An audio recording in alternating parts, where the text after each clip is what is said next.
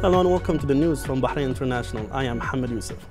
His Majesty King Hamad bin Isa Al Khalifa chaired the weekly cabinet meeting attended by His Royal Highness the Crown Prince and Prime Minister Prince Salman bin Hamad Al Khalifa at Qudaybiya Palace. His Majesty the King lauded the kingdom's wide-ranging achievements and praised the steadily developing performance of the government, commending the role played by His Royal Highness in leading the government's work towards more development, ensuring continuous excellence and ideal performance. His Majesty affirmed that the government is required to undertake its national tasks and responsibilities through its program for the next four years, expressing confidence in the ability of Bahraini citizens to perform their national duties and continue playing their role in the national development and achieve aspirations. His Majesty directed to adopt initiatives that support the sustainability of existing natural resources to ensure the stability of the foundations of economic security and promote the progress of various development paths in a way that provides qualitative opportunities for citizens, stressing that Bahraini citizens should always remain the main pillar of the development and nation-building processes,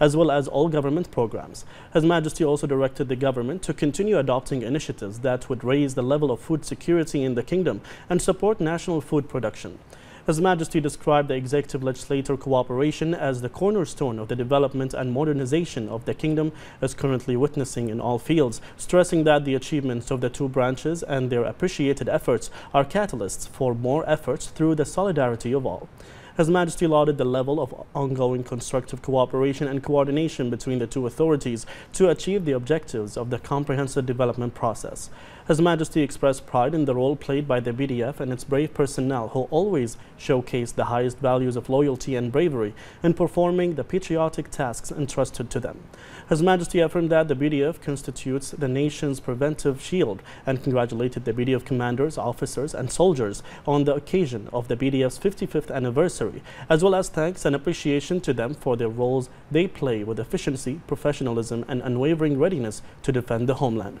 His Majesty the King asserted that the King Hamad American Mission Hospital, inaugurated recently in A'ali, will improve the health and treatment services in the kingdom, noting that it reflects the successful long-standing partnership between Bahrain and the U.S. He also valued the role played by the American Mission Hospital over the past 120 years, being among the first hospitals in the region since it opened in Bahrain.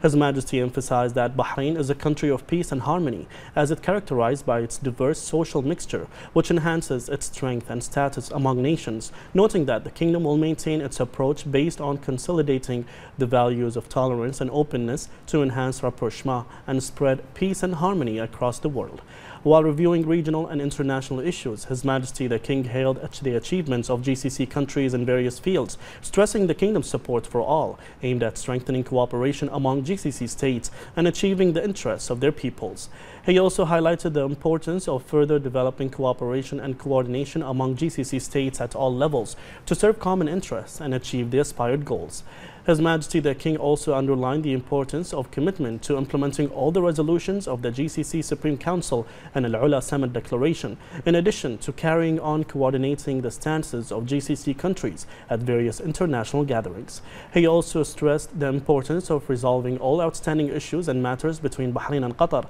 to achieve the common aspirations of their citizens, preserve the cohesion of the GCC, and safeguard the region's security and stability. His Majesty also renewed the kingdom's firm stance in support of the Palestinian cause and all endeavors aimed at achieving just and comprehensive peace in the region to achieve well-being, stability and prosperity for all. For his part, His Royal Highness the Crown Prince and Prime Minister extended on behalf of the government his deepest thanks and gratitude to His Majesty the King for appreciating the role of the government plays in driving the kingdom's comprehensive development process. His Royal Highness affirmed that the royal appreciation would motivate the government to double their efforts and work as one team so that the government performance will always achieve the royal visions. His Royal Highness instructed the ministries and government departments to implement the royal vision and directives to ensure the continuity of development and modernization in various fields and improve performance efficiency.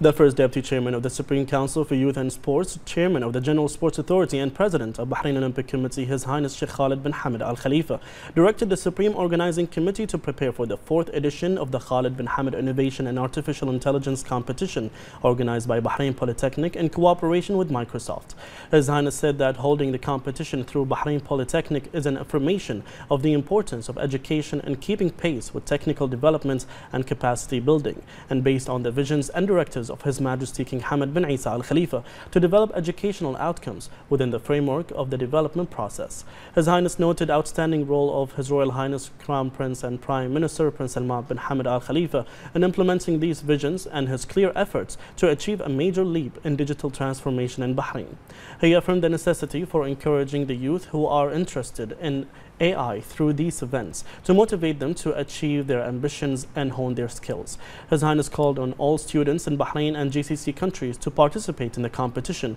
to present their innovations and enrich the educational movement in the region. The Minister of Industry and Commerce, Abdullah Fakhro, paid an inspection visit to Alba. Alba Chairman Sheikh Adaij bin Salman bin Adaij Al Khalifa and Chief Executive Officer of Alba, Ali Al Baqali, and other officials were also present. The Minister praised the influential role of industrial companies in Bahrain in developing the infrastructure of the national economy, supporting the objectives of the Industrial Sector Strategy 2022 2026, and implementing the objectives of the 2030 Economic Vision. Fakhro was briefed on the sixth melting project and its process and he said that it is one of the most important development projects held by ALBA. The CEO of Bahrain Tourism and Exhibition Authority, Dr. Nasser Qaidi, affirmed that the authority is intensifying its efforts to attract more weddings from different world countries to contribute to strengthening Bahrain's status as an ideal destination to host weddings and celebrations. He noted that Bahrain is hosting 14 weddings in the first quarter of 2023 for families residing in various world countries. He added that the authority is working with tourism establishments in the private sector, including hotels and resorts, to provide all facilities and services for hosting weddings through coordination with Gulf Air and other services and facilities within the framework of efforts exerted to increase attracting weddings in Bahrain within the tourism project Joy in Bahrain. Dr. Qaidi stated Bahrain provided tourist attractions such as tourist facilities with high international ratings, islands, heritage sites, beaches, and Bahrain International Circuit for Bahrain to be the destination for weddings. He noted that Bahrain's international hotels are suitable for hosting all weddings and events, in addition to Bahraini companies organizing the specialized in the wedding and event sector.